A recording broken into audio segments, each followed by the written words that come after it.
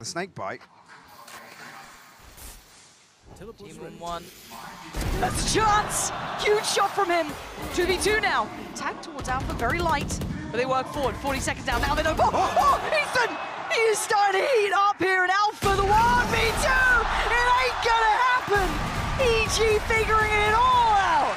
Heroics in the last round.